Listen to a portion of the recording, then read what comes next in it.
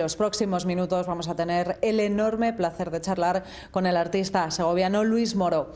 Está exponiendo en Texas, en Estados Unidos, la carpeta Memoria en homenaje a la filósofa María Zambrano. Desde allí charlamos con él. Luis, buenas tardes. Hola, buenas tardes. Bueno, buenos días allí para ti en Estados Unidos, en Texas. Sí. Bueno, gracias por estar con nosotros estos minutos. Lo primero, estás en Estados Unidos presentando esta carpeta gráfica, Memoria, en homenaje a María Zambrano. Así es. Cuéntanos cómo han sido estos días, esta presentación allí en Estados Unidos. Bueno, pues ha sido un mes, la, verdad, bastante emocionante porque hemos estado en tres ciudades, eh, San Antonio, Houston y Dallas, eh, presentando esta carpeta y también presentando obras cartográficas en la Feria de Dallas, que hemos sido la, pues, la única galería española que representaba a nuestro país en, pues, en una de las ferias más importantes del sur de Estados Unidos. ¿Cómo han recibido allí este trabajo, esta eh, carpeta en honor a, María Zambrano? Es decir, eh, ¿es conocida allí la filósofa? Bueno, yo he tenido la suerte eh, que se interesó en lo que son las diferentes casas de España en estas ciudades eh, y varias universidades como la UNAM de, San Antonio, la Universidad Rice eh, University en Houston y el Latino Cultural Center en Dallas.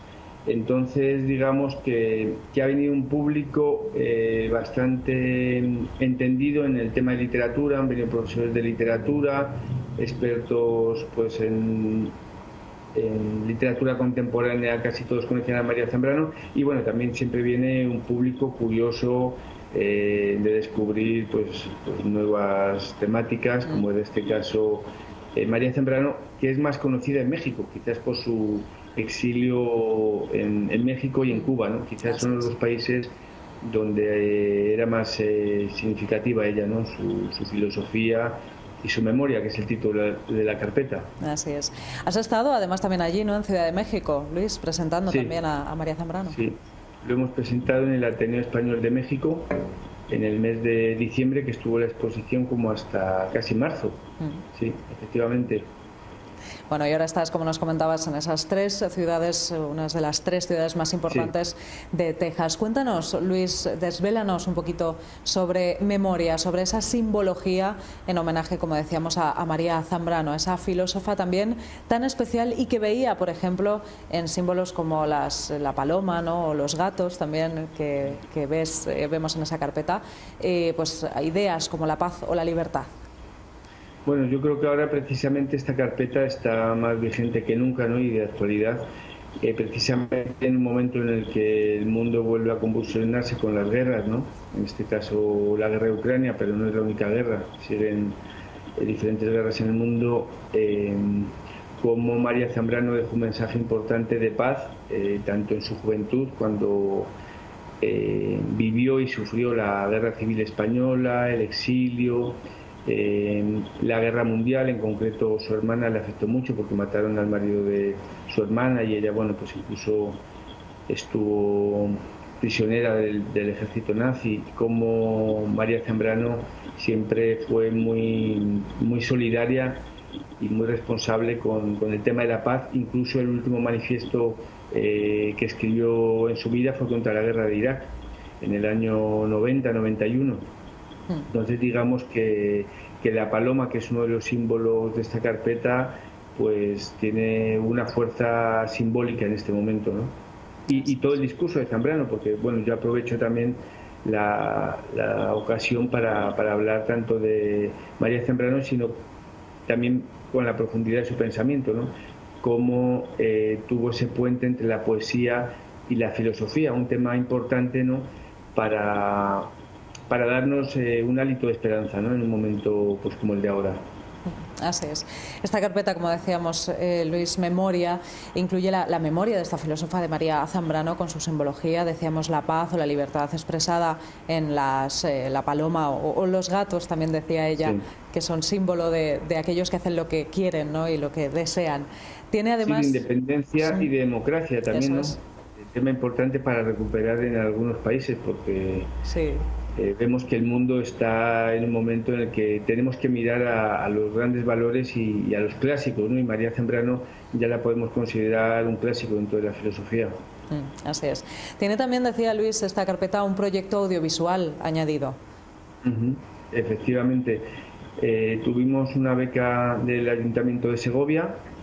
Ha habido varias becas a lo largo de, estos años. La primera fue del Gobierno de México con Conaculta para nuevas tecnologías. Eh, tuvimos otra beca el año pasado eh, con la Galería Rodrigo Juarranz y el Ministerio de Cultura para seguir pues, con la aplicación de realidad aumentada, una aplicación que hemos hecho propia, que la carpeta también tiene dos, dos litografías con realidad aumentada y después los, los vídeos que realizamos con la UBA, la Universidad de Valladolid en Segovia, eh, con todo el equipo en sus instalaciones y que lo presentamos en, primicia precisamente allí, en, Segovia. Y con voz en off de la Premio Cervantes eh, Elena Poniatosca, con la presentación que hizo sobre María Zambrano y poetas, poemas recitados por Marifé Santiago, que bueno, en Segovia es bien conocida, y también en, toda la itinerancia llevamos unos versos y una litografía, eh, unos versos que nos escribió Mercedes Gómez Blesa, que también tenemos la suerte de estas dos grandes mujeres zambranianas que pertenecen pues a la Fundación María Zambrano eh, filósofas, escritoras y, poetas ambas, ¿no? con lo mm. cual yo creo que estamos dejando el papel de la mujer española en, un lugar eh, bastante alto a nivel internacional, eh, dado que María Zambrano precisamente pues fue una precursora en este sentido. ¿no? Eso es, eso es.